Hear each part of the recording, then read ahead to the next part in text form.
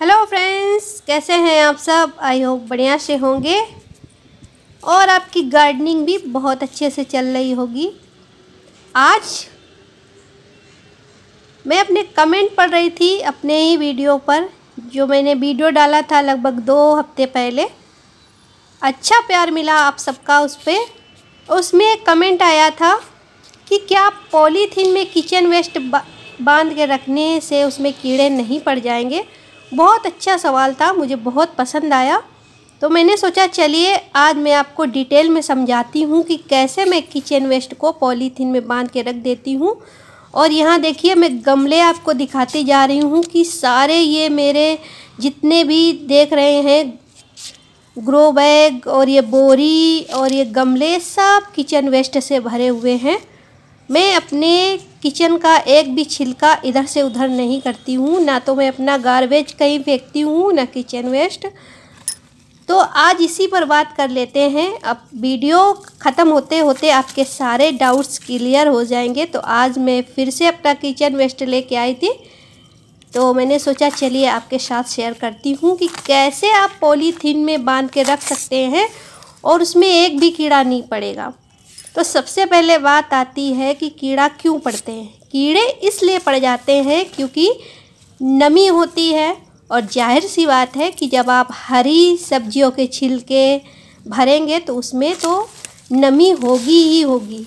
तो kitchen waste में कीड़े ना पड़े और ये चीज़ सब पे लागू होती है, चाहे आप गमले में भरें, चाहे आप मटके में भरें, चाहे आप पॉलीथीन में भरें। तो आपको ध्यान रखना होता है बैलेंस का।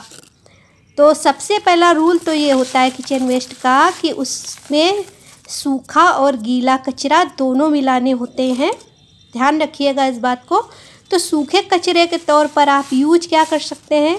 आप यूज़ कर सकते हैं अपने गार्ड अगर आपके पास गार्डन है तो गार्डन में निकलने वाले सूखे पत्ते, सूखे फूल, नहीं हैं ये सब चीज़ें।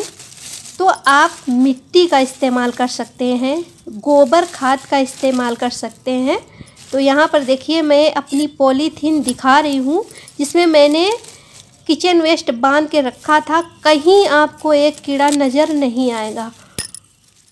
कारण यही है कि मैंने जब किचन वेस्ट भरा था तो ऐसा नहीं था कि जितना भी किचन में निकले थे, छिलके सारे वही बाँध के रखे थे, नहीं।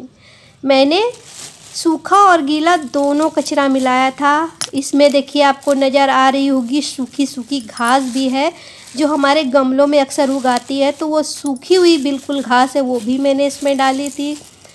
अपने गमले से लेकर मिट्टी भी डाली थी, इस तरह से फूल भी पड़े हैं और थोड़ी बहुत गोबर की खाद भी मैंने डाली थी। तो जितना मॉइस्चर हमारा ग्रीन कचरा छोड़ेगा ये ब्राउन कचरा जो होगा, सूखा कचरा, वो उसको एब्जॉर्ब कर लेगा। और इस वजह से उसमें कीड़े नहीं पड़ेंगे। और ये बिल्कुल हर चीज़ पर लागू होता है। ऐसा नहीं है कि आप किसी बकेट में अगर किचन वेस्ट बनाने जा रहे हैं तो वहाँ पर आप सिर्फ़ गीला कचरा भरते रहेंगे तो उसमें कीड़े नहीं पड़ेंगे। उसमें भी कीड़े पड़ेंगे। तो जब भी आप किचन कंपोस्टिंग करें, इस बात का ध्यान रखें कि अपने गीले कचरे के साथ आपको थोड़ा सूखा कचरा मिलाना है। और अगर आपके पास नहीं है तो मिट्टी ज़रूर मिला दीजिए। मिट्टी नहीं है, बालू मिला दीजिए। गोबर खाद मिल जाए, वो मिला दीजिए। और अगर कुछ ना मिले तो मार्केट में बर्मी कंपोस्ट या गोबर खाद बहुत इजीली अवेलेबल होती है। ला के रख दीजिए। जब भी कचरा निकले, बाल्टी में भी अगर आप डाल रहे हैं तो कचरा डालिए। एक दो मुट्ठी उसमें कंपोस्ट डालिए या गोबर खाद डालिए या बालू या मिट्टी, कुछ ना कुछ ज़रूर डालिए। बैलेंस करके रखेंगे तो कभी भी कीड़े नहीं पड़ते हैं। और देखिए, मैंने पॉलीथीन में इस तरह बाँध दिया है और अब छोटे छोटे से इस पॉलीथीन में हम छेद भी बना देंगे ताकि एयर सर्कुलेशन बना रहे। जो इसमें छोटे छोटे से सूक्ष्म जीवाणु हो, वो मरे नहीं, क्योंकि पॉलीथीन में आप जानते हैं कि हवा इधर उधर पास नहीं होगी। अगर मटका होता या जूट की बोरी होती तो एयर एयर सर्कुलेशन होता रहता, पर ये पॉलीथीन है तो हमें इसमें छोटे छोटे छेद बनाने पड़ेंगे।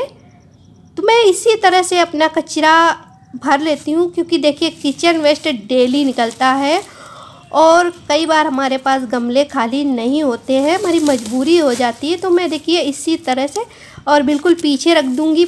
बहुत सारे यहाँ पे मेरे प्लांट रखे हैं, वहाँ ठंडक भी रहती है और यहीं पे रखे रहेंगे। जब मुझे ज़रूरत होगी, तब मैं इसका इस्तेमाल करूँगी। तो कभी कभी डालते समय ये पूरी तरह डिकम्पोस्ट हो जाते हैं। तो ज़रूर से इस ट्रिक को इस्तेमाल कीजिए और वीडियो अच्छा लगा है तो लाइक सब्सक्राइब ज़रूर कीजिएगा।